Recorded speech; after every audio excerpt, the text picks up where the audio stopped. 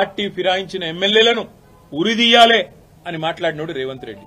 మరి ఆయన మాట్లాడిన మాటల ముందు మా పార్టీ తరఫున మాట్లాడిన నాయకులు ఎవరు కూడా ఆయన మాట్లాడినంత అసహ్యంగా అంత చండాలంగా ఎవరు కూడా మాట్లాడలేదు. సరే పార్టీ మారినరా లేదా అనే చర్చ ఒకవైపు జరుగుతూనే ఉంటే ఇంకోవైపు చాలా దారుణంగా స్పీకర్ కార్యాలయం నుంచి ఏ రోజైతే హైకోర్టు తీర్పు వచ్చిందో పార్టీ ఫిరాయింపుల మీద అదే రోజు సభా సాంప్రదాయాలన్నింటినీ తుంగలో దొక్కుతూ పార్టీ మారినా అని బాహాటంగా ప్రకటించిన శేర్లింగంపల్లి ఎమ్మెల్యే ఆరికపూడి గాంధీని పీఏసీ చైర్మన్గా నియమిస్తూ మరి ఒక తీర్పు తీర్పు కాదు ఒక ఆర్డరు స్పీకర్ కార్యాలయం నుంచి అసెంబ్లీ సెక్రటరియట్ నుంచి వచ్చింది. పార్లమెంటరీ పద్ధతులకు అన్నిటికీ తిలోదకాలిస్తూ ఇదేం పద్ధతి? అసలు ఆయన ఏ పార్టీలో ఉన్నాడు? అని మా వాళ్ళు అడిగినారు. అయితే ఎంత విచిత్రమైన పరిస్థితి అంటే ఈరోజు రాష్ట్రంలో మొన్ననేమో నేను మారిన పార్టీ కాంగ్రెస్ పార్టీ విధానాలు నచ్చి మారిన అని చెప్పిన ఎమ్మెల్యే నిన్న మొన్నటి నుంచి నేను బీఆర్ఎస్ పార్టీలోనే ఉన్నా నేను ఎక్కడికోలే పది మంది ఇక మాకు తప్పది పదవి గండం పోయితుంది మా పదవి అని చెప్పి కొత్త రాగం ఎత్తుకున్నారు. దాన్ని మా సోదరుడు ప్రశ్నిస్తే ఆయన ఇంటి మీదకి పోలీస్ ఎస్కాట్ పెట్టి డీసీపీలు అడిషనల్ డీసీపీలు ఏసీపీలు సిఐలు ఒక గేటెడ్ కమ్యూనిటీ లోపలికి ఒక యాభై వంద మంది గూండాగాలు చొచ్చుకొని వచ్చి ఇవాళ ఒక ఎమ్మెల్యే ఇంటి మీద దాడి చేసే పరిస్థితి. ఇప్పుడే మేము చూసినాం. ఎమ్మెల్యే గారి ఇంటి మీద దాడి చేయడమే కాదు వారి ఇంట్లో ఉండే పెద్దలు వారి తల్లిదండ్రులు వచ్చినప్పుడు కానీ లేదా వారి మామగారు వచ్చినప్పుడు కానీ ఉండే రూమ్. ఆ రూమ్ మీద మొత్తం అద్దాలు బలగొట్టిండ్రు.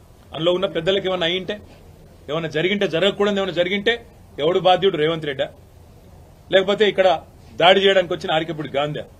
ఈ రకమైన గూండాగిరి ఈ రకమైన దౌర్భాగ్యం హైదరాబాద్ పదేళ్ళలో ఎన్నడూ లేదు. ఫ్యాక్షన్ సినిమాల్లో చూపెట్టినట్టు. కార్లకెళ్ళి బయటికి ఏలాడుకుంటా ఇరవై ఇరవై బండ్లు పెట్టుకొని లైవ్ పెట్టుకుంటా.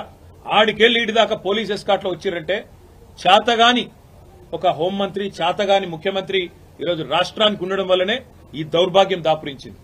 అసలు రేవంత్ రెడ్డి నేను అడుగుతా ఉన్నా నువ్వు ముఖ్యమంత్రివేనా అసలు? నీకు అర్హత ఉందా? ఇవాళ హైదరాబాద్లో నడి వీధిలో ఈ రకమైన గుండాగిరి చేస్తే రేపు జరగకూడదు ఏమైనా జరిగితే ఎవడు బాధ్యుడు? నువ్వా? నీ ప్రభుత్వమా? నీ డీజీపా? ఎవరు తీసుకుంటారని నేను అడుగుతా ఉన్నా. ఇంత దుర్మార్గమా? నీ కనీసం హైదరాబాద్లో లా అండ్ ఆర్డర్ కంట్రోల్ చేసే ముఖం లేదు. పేపర్లు రాస్తున్నాయి మన ఆంధ్రజ్యోతి రాసింది. ముప్పై రోజుల్లో ఇరవై ఎనిమిది మర్డర్లు. ఈనాడు రాస్తుంది ఈ నగరానికి ఏమైంది అని. అదేమి చేతగాదు చేసేది. హోంమంత్రి ఉన్నడో లేడో ఎవరికి తెలియదు. ముఖ్యమంత్రి ఎక్కడున్నాడో ఎవరికి తెలియదు. ఢిల్లీకి ఎక్కే విమానం దిగే విమానం అన్నట్టు ఇరవై రెండు సార్లు ఎక్కడు దిగుడు తప్ప పీకిందేమీ లేదు.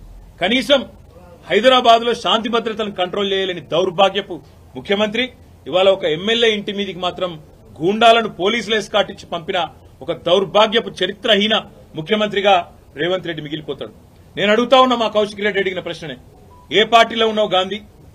అసలు మీ పది మంది ఎమ్మెల్యేలు ఎవడైతే పార్టీ మారినరో ఎవరి ఇంటింటికైతే పోయి ముఖ్యమంత్రి అనేటోడు కండువా కప్పిండో ఫస్ట్ మీరు ఏ పార్టీలో ఉన్నారో చెప్పండి.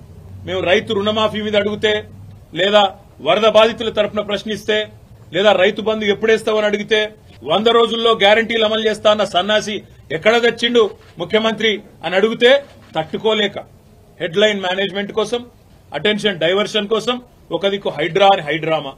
ఇంకో దిక్కు ఈ రకంగా ఎమ్మెల్యేల ఇంటి మీదకే గూండాలను పంపడం అంటే దీనికంటే సిగ్గుచేటు ఇంకొకటి ఉండదు. తప్పకుండా నేను రేవంత్ రెడ్డిని అంటా ఉన్నా. చరిత్రలో నీలాంటి పనికిమాలిన ముఖ్యమంత్రులు నీలాంటి తలమాసిన ముఖ్యమంత్రులు మస్తుగా వచ్చిండు మస్తుగా పోయిన పెద్ద పెద్దోళ్ళతోనూ కొట్లాడినాం. చంద్రబాబుతో కొట్లాడినాం రాజశేఖర రెడ్డితో కొట్లాడినాం కిరణ్ కుమార్ రెడ్డితోని రోషయ్య గారితో ఎంతో మందితో తల తలపడ్డాం. నువ్వు వాళ్ళందరికంటే కూడా చాలా చిన్నోడు చిట్టినాయుడు నువ్వు చాలా చిన్నోడవు. నేను మా దగ్గర మా మా భాషలో చెప్పాలంటే హైదరాబాద్లో బుల్లబ్బాయి అంటారు నీలాంటి ఇలాంటి బుల్లబ్బాయిలు చిట్టినాయుడులో చాలా మందిని చూసినాం. ఏం ఫరక్ పడేది కూడా ఏం లేదు ఏం ఇంటికి కూడా వీకలేవు కానీ ఏదో పైశాచిక ఆనందం నాలుగు రోజులు. ముఖ్యమంత్రి పదవిలో కూర్చున్నా నేనేందో పెద్దోడిని అయిపోయినా అనేదో ఎగిరిగిరి పడతా ఉన్నావు. రేవంత్ రెడ్డి గారు అధికారం ఎవరికి శాశ్వతం కాదు. నువ్వు ఒక దుష్ట సాంప్రదాయానికి తెరలేపుతా ఉన్నావు. ఇది తప్పకుండా నిన్ను దహిస్తుంది నిన్ను వెంటాడుతుంది. రేపు నువ్వు పదవిలోకి దిగిపోయినాక తప్పకుండా నువ్వు ఈ రోజు ఏదైతే దుష్ట సాంప్రదాయాలు నెలకొల్పుతున్నావో ఇవన్నీ నీకే చుట్టుకుంటాయనే మాట కూడా నేను వారిని హెచ్చరిస్తా ఉన్నా. గాంధీ చేసిన వ్యాఖ్యలు కూడా ఒకసారి పరిశీలించాలని నేను కోరుతా ఉన్నా. కౌశిక్ రెడ్డి మీద నోటికొచ్చినట్టు బూతులు మాట్లాడడం నోటికొచ్చినట్టు కౌశిక్ రెడ్డి గారి కుటుంబాన్ని తిట్టడం బజారు భాష మాట్లాడడం ఇదేనా రేవంత్ రెడ్డి నేర్పుతున్న సంస్కృతి అని చెప్పి కూడా నేను అడుగుతా ఉన్నా. తప్పకుండా మా పార్టీ పరంగా మాత్రం హండ్రెడ్ ఈ ప్రభుత్వాన్ని మాత్రం వదిలిపెట్టాం. ప్రజలకిచ్చిన హామీలు తప్పకుండా నెరవేర్చేదాకా ఎంబడబడతాం అన్నమాట మళ్ళీ ఒకసారి చెప్తాం. మా ముఖ్యమంత్రి ఎవరన్నా కాంగ్రెస్ పార్టీ ముఖ్యమంత్రి పనికిమాలున్నా నాలుగే కోసేస్తాం మళ్ళీ వస్తారంటే పనికిమాలు అంటే. మా కేటీఆర్ ఉండని వాళ్ళు అయ్యి ఉండని. కాంగ్రెస్ కార్యకర్తలు ఎందుకు రెచ్చగొడుతున్నాడు? ఎందుకు కొట్లాడుతున్నారు ఎందుకు రెచ్చగొడుతున్నారు మీరు కాంగ్రెస్ పార్టీ కార్యకర్తలను? ఏం అవసరం వచ్చింది మీకు? ఇది అవసరమా? మీకు ఇదంతా? ఏదైనా పబ్లిక్ ఇష్యూల మీద ఉంటే గవర్నమెంట్ ఉంది మాట్లాడండి. అసలు చెప్తా ఆగండి. ఇప్పుడు సబ్జెక్టు ఇది కేసీఆర్ కేటీఆర్ హరీష్ రావు సబ్జెక్ట్ ఇదంతా. ఇప్పుడు ఇంకేమైనా డౌట్లా నేను నాలుగే మా కార్యకర్తలు రెచ్చిపోయి కొయ్యగలరు అని చెప్తున్నా. నోరు వాళ్ళు తీసుకోకుండా నేను చెప్తే కదా ముఖ్యమంత్రి గారికి మాట్లాడితే మా కాంగ్రెస్ పార్టీ కార్యకర్తలు రెచ్చగొట్టకుండా ఏడబడతాడు పట్టుకొని నాలుగో కోసేయగలరు ముఖ్యమంత్రి రేవంత్ రెడ్డి తిట్టొద్దని చెప్తాను ఇంకేం ఇప్పుడు అది కాంగ్రెస్ పార్టీ అది కాంగ్రెస్ పార్టీ పంచాయతీ కాదు కదా. అది బీఆర్ఎస్ పంచాయతీ కదా. అది బీఆర్ఎస్ వాళ్ళ పంచాయతీ కదా అది. మా పార్టీ నాయకులు అయితేనేమో అట్లా చెయ్యరు. చిల్లరగా చెయ్యరు. నేనేమంటున్నానంటే కాంగ్రెస్ పార్టీ నాయకులు అంటే మరీ అంత చిల్లరగా కూడా చెయ్యరు. ఆ రోడ్ల మీద కొట్లాడుకున్నాడు అంతా కూడా చెయ్యరు కదా. అంత బూతులు తిట్టుకోరు కదా. ఇప్పుడు ఇది ప్రాబ్లం ఏంది ఇప్పుడు? లాండ్ ఆర్డర్ ఏమైంది ఇప్పుడు? కొబ్బలి మునిగిపోయింది ఇప్పుడు.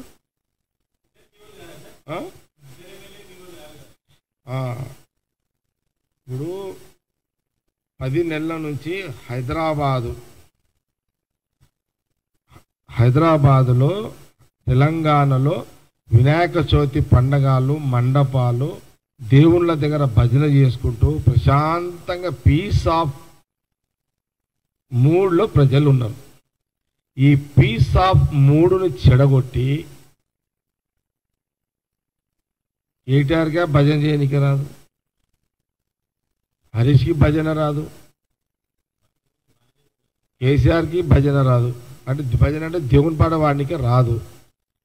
తెలంగాణ హైదరాబాదు ఎంత వినాయక నిమజ్జ మండపాల దగ్గర ఈ నవరాత్రులు అసలు ఎంత పీస్ ఆఫ్ మైండ్ గుళ్ళకాడ గో మండపాల దగ్గర ఎంత ప్రశాంతంగా వాళ్ళు దేవుని సన్నిధిలో కాలం గడుపుతుంటే వీళ్ళు పనికిమాల పంచాయతీ పెట్టి హైదరాబాదులో ఇక మీరేమో మళ్ళీ ఉల్టా అరే పోలీసులు మండపాల దగ్గర జాగ్రత్తలు తీసుకోవాలా? ఈ బీఆర్ఎస్ పంచాయతీ చూసుకుంటే కూర్చోవాలా? అసలు ఇంత కామన్ సెన్స్ ఉందా? ఏమన్నా కామన్ సెన్స్ ఉందా వీళ్ళకు? తెలివి ఉందా వీళ్ళకు? ఏమన్నా కామన్ సెన్స్ ఉందా? నవరాత్రి వినాయక చవితి నవరాత్రి ఉత్సవాలు హైదరాబాద్లో జరుగుతుంటే ఈ ఈ పంచాయతీలు ఇప్పుడు అవసరమా బీఆర్ఎస్ వాళ్ళకు? కేసీఆర్ గారికి కేటీఆర్కి అమెరికాలో ఉండి ఆయన డైరెక్షన్ ఇస్తాడు ఫామ్ హౌస్లో ఉండి కేసీఆర్ డైరెక్షన్ ఇస్తాడు రోడ్ల మీదనేమో హరీష్ రావు. ఈ నిమజ్జన ఉత్సవాలను మీరు ఖరాబ్ చేయడానికి ఇదేమైనా డిజైన్ చేత తయారు చేసుకున్నారా? హైదరాబాద్ పబ్లిక్ మూడుని ఎందుకు ఖరాబ్ చేస్తున్నారు? అసలు నిన్న మొన్న టీవీలలో చూస్తే వినాయకుడు కనబడకుండా చేసేసారు టీవీలలో. దేవుడిని ఎక్కడ గాయం చేసేసారు వీళ్ళు? అంటే మీ ముఖాలే చూడాలా? ఈ నవరాత్రి అన్ని రోజులు కూడా? ఈ నవరాత్రి ఉత్సవాల దేవుని ముఖం టీవీలలో చూడద్దా? అసలు రోజు ఖైరతాబాద్ వినాయక మండపానికి భక్తులు దర్శనానికి వస్తుంటే టీవీలలో ప్రసారాలు వచ్చేటి బంద్ అయిపోయినాయి టీవీలలో. ఏం జరుగుతున్నది? ఏం రాజకీయం ఇదంతా మీది? పక్కిమల్ల రాజకీయం ఎందుకు చేసుకుంటున్నది ఇదంతా? ఇప్పుడు అంత అర్జెంట్ ఏముంది కొంపల్లి మునిగిపోయేది ఉన్నది ఇప్పుడు. పోలీస్ అంతా వాళ్ళు పాపము రాత్రి పగలు ఏ గవర్నమెంట్ ఉన్నది? ఏ గవర్ మా గవర్నమెంట్ ఉన్నది ఏ గవర్నమెంట్ ఉన్నా ఈ అసలు ఈ పదిహేను ఇరవై ఐదు రోజులు పోలీసు వాళ్ళకు నిద్రలు ఉండవు భార్య పిల్లలు ఉండరు. వాళ్ళకు మండపాల దగ్గర ఎలాంటి చిన్న సంఘటన జరిగినా ఏదన్నా జరగడానికి జరిగితే బర్నింగ్ అయిపోతే కాలిపోతుంది. అసలు పోలీసు వాళ్ళు ఇది చూడాలా? మీ పంచాయతీలు చూడాలా? ఇంత కూడా మీకు బుర్ర పని చేస్తలేదా హరీష్ రావు నీకు?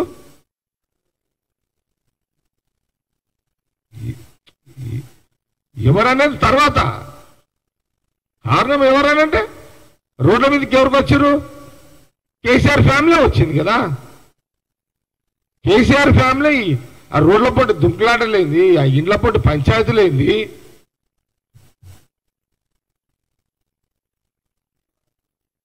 ఆ, ఇప్పుడు ఇప్పుడు ఏం అవసరము? ఆ ప్రాంతీయవాదం ఏమవసరం అవసరం ఇప్పుడు? రెండు రాష్ట్రాలు అయిపోయింది కదా. అయిపోయి పదేళ్ళు అయిపోయింది. మీరే పదేళ్ళు అనుభవిస్తుంది రాష్ట్రం వచ్చిన తర్వాత పదేళ్ళు అనుభవిస్తుంది మీరే ఆంధ్రలో ఎమ్మెల్యేలందరూ మీరే తీసుకుంటారు టికెట్లు ఇచ్చింది మీరేనా